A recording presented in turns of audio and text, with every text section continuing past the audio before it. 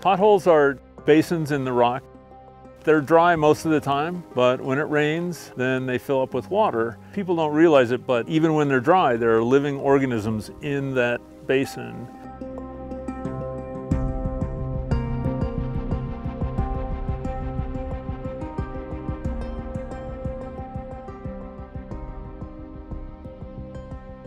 These little depressions that have discoloration are active ecosystems, even though they don't look like much. And so we're gonna see if this one happens to have the top predator in these potholes, which is a little bitty mite that is found only on the Colorado Plateau.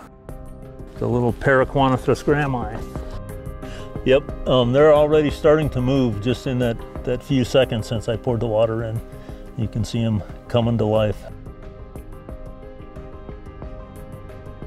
They're kind of funny. They just kind of flail around. A lot of them are on their backs. Their legs are in the air. If they bump into another one, then they'll they'll get tangled up for a while.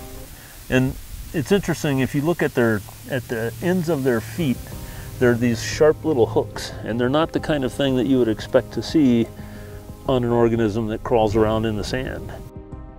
They are pretty clumsy looking this size in the summertime, you fill it up and there will be probably at least a thousand mites in here. They're not very big, and they're interesting for a number of different reasons. They have uh, some unusual characteristics. Their exoskeleton is covered with thick wax, which helps to keep them waterproof because they don't dry up, and when the pool dries up, they stay wet.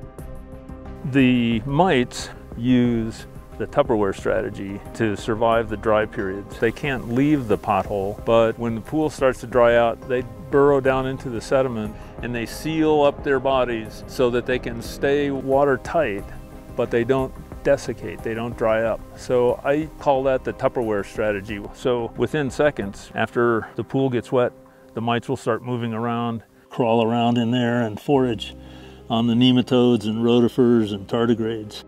They're active faster, so the mites have some time to feed on those organisms before they're fully awake.